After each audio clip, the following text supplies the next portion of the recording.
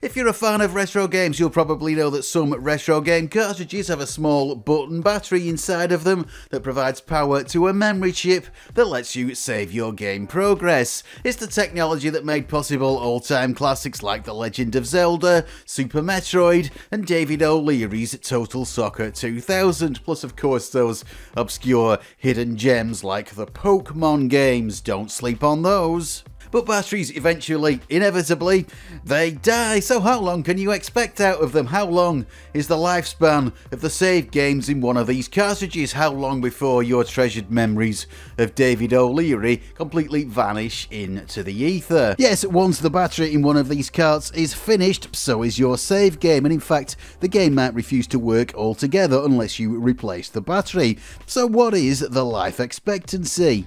Now, we've definitely got to be talking at the very least two or three decades of life for most games. History has already proved that. These are, I think, the oldest battery backed up save games that I've got lying around. Let's check if these both still work. So my Japanese copy of Super Mario World is still absolutely fine. This game came out in 1990 originally, but according to the date code on the battery inside this copy, this is from 1992, but still 31 years isn't bad at all, and it probably means that newer Super NES games are going to be just fine too. Yes, your Jimmy Houston's Bass Tournament save is probably safe for the moment. And it seems like F1 Race is fine too. This came out in 1991, but the date code inside this says 1996. That does seem very late, but it does match up with some info I found online. Slightly disappointing, but well, this battery has still lasted 27 years. Not bad again, especially when you consider that Game Boy games are known for having less reliable batteries than other cartridges. This is all fine, but well, how far back can we go? What's the oldest example of this technology that I can find? Well, this here is the very first game to ever use this sort of button cell battery backup, Morita Shogi for the Nintendo Famicom, released in April 1987. Obscure but not rare or expensive, thankfully, and it really is an attractive colour, isn't it? Like it's been cast out of Werther's originals, but let's let's give this a try.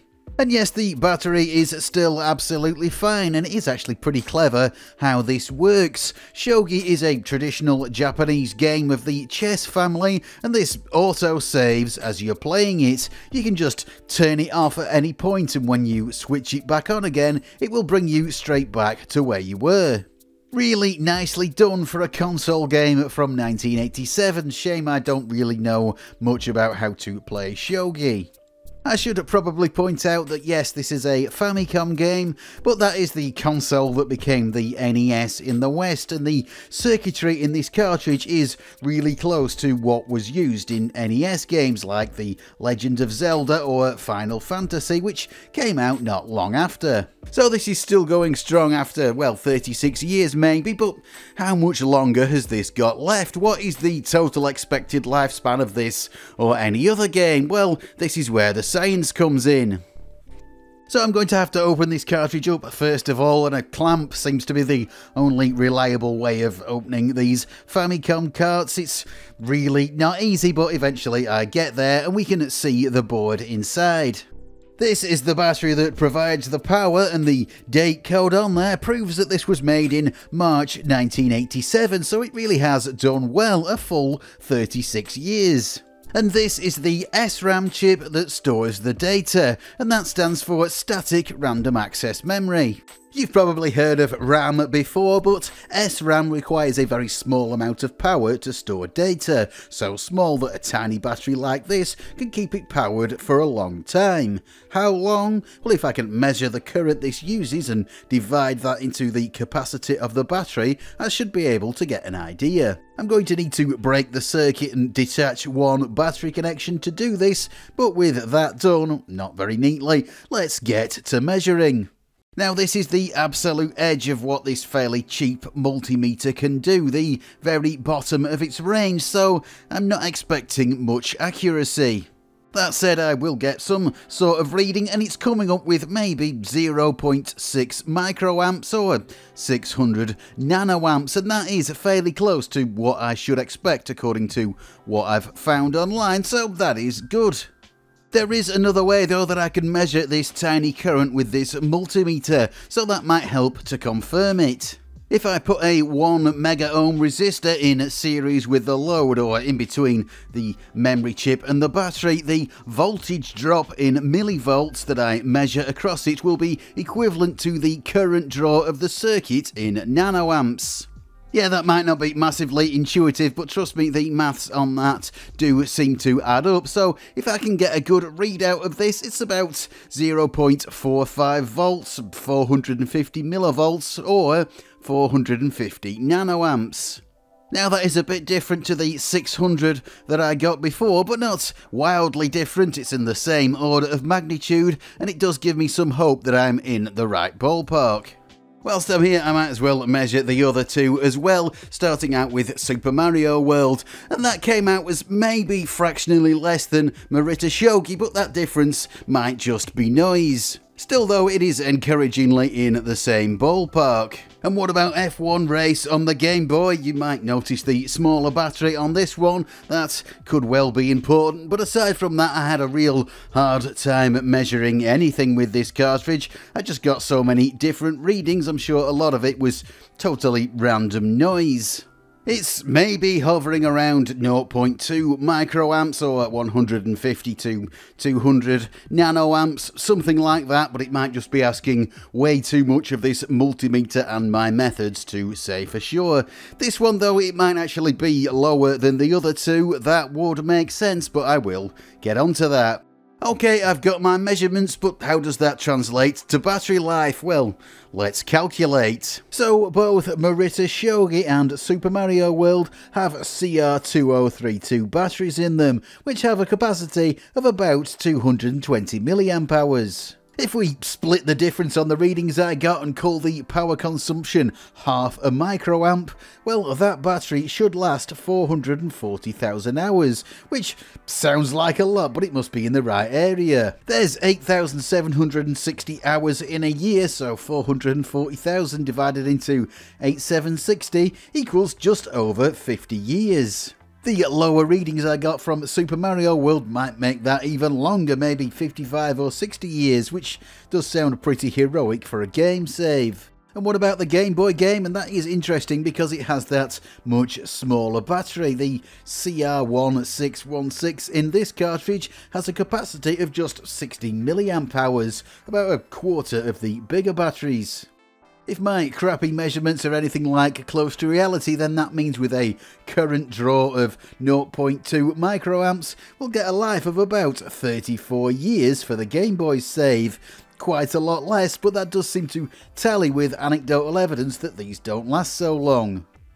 But here you might point out that batteries are a bit more complicated than that. They lose capacity even when they're not in use, self-discharge, and eventually they can corrode and totally self-destruct.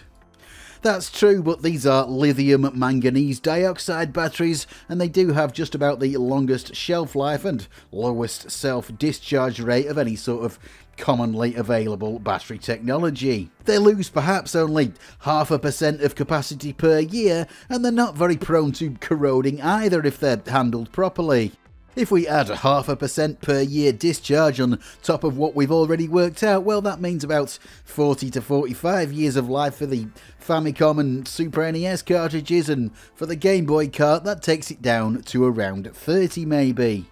Is there another way of corroborating this? Well, maybe with voltage. As a battery is used up, the voltage it puts out drops, giving you a clue to its life left. Both Super Mario and F1 Race were about 3 volts when I measured them, which isn't that helpful, but Morita Shogi, the oldest game by about 5 years, that was 2.84. The discharge voltage curve on these sorts of batteries is pretty flat. They put out about 3 volts for most of their lives, but as they get towards the end, the voltage does start to drop. 2.85 volts puts the Morita Shogi battery at maybe this point on the curve.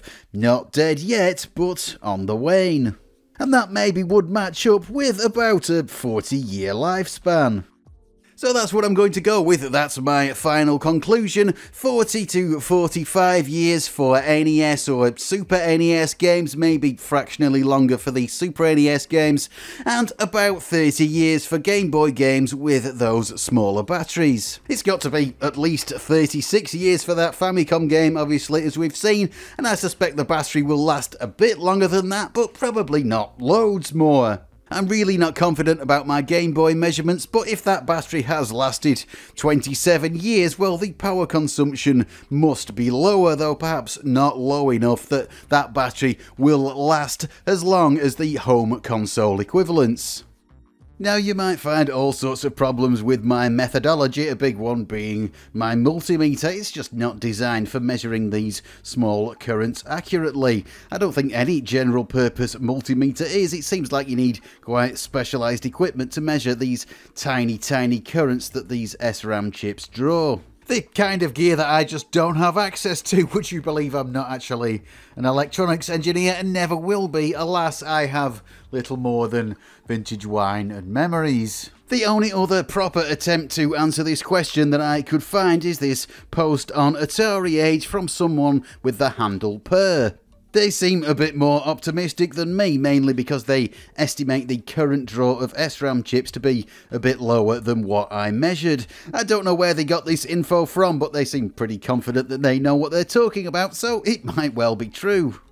I'm sure there will be people watching this with cartridges newer than what I've shown that are already very dead. I'm sure that's not uncommon.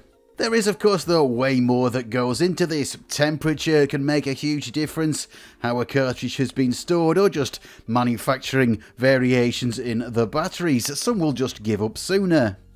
But I'm sure there's also quite a bit of a variation in the cartridge hardware too. Different SRAM chips will have different characteristics. If the chip in a particular cartridge uses even a little bit more power, well that's going to mount up over the years. And there's many other systems that I haven't considered that also use cartridge batteries. The Mega Drive, the N64, I think some Game Boy Advance games, they're probably going to have different characteristics again. I think some Game Boy games did also have larger batteries too, but well, if this generates any interest, maybe I could do a follow-up. So do let me know in the comments what you think about this. If you have a Game Boy game older than 26 years that still has a working battery, that would be really interesting. You can tell the age by the date code that's usually stamped on the battery if you open up the cartridge a month and a year, but also any thoughts in general would be very welcome. So this is where I sign off, I think. Thank you, as always, to my patrons. Thank you very much. Your pledges do help me to buy things like obscure Famicom games and the clamps to open them up with. If anyone else would like to join in, that would be absolutely superb. There is a link below, and I will say thank you for watching, and I'll see you next time.